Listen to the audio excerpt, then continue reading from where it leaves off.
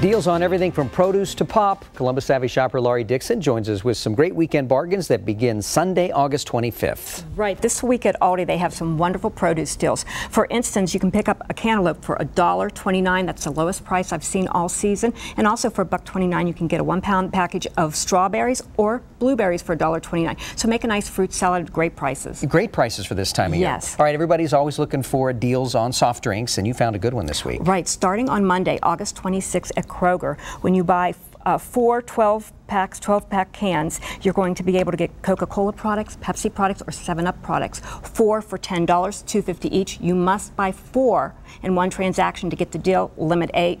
And weeks leading up to a holiday is the best time to stock up on soft Ah, drinks. good to remember that for future holidays. Yes. Okay, what's your freebie this week? Okay, starting on Sunday, August 25th at Staples, you're going to be able to pick up a 12 pack of Bic pens for $2.49, but you're going to get $2.49 back in an easy rebate in the form of a check or prepaid Visa card, ah, making it free. So We like those. deal. Yes, All we right. do. For more great deals like these, as well as coupons, be sure to like Columbus Savvy Shopper on Facebook.